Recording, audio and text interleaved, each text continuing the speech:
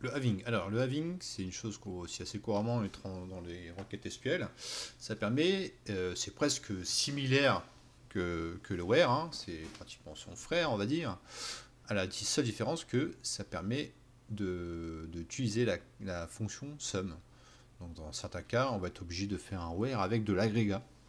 Et le where avec de l'agrégat, ça ne marche pas. Donc là, on va utiliser le having. Je vous, utiliser, je vais vous montrer un exemple assez simple.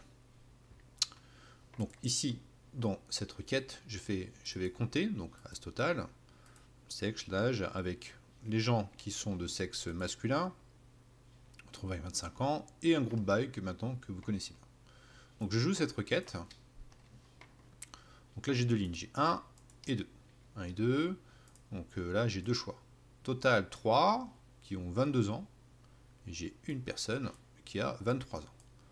La question est, euh, mais si je veux les personnes euh, qui sont supérieures à 2, d'accord? Si je veux que le total de tout ça, je veux filtrer et je veux juste les, totaux qui sont supérieurs à 2. D'accord? Donc j'aurai juste le 3 qui va sortir, d'accord? Donc là, je vais rajouter donc le sum de 2 ici. Donc je mets somme de 2, somme supérieure à 2. Est-ce que ça marche? Donc là, ça marche pas. Il dit Linucan, somme supérieur à 2, et c'est bon comme ça, la colonne somme 2 n'existe pas. Donc on n'y arrive pas. Voilà. C'est là qu'intervient le superbe having.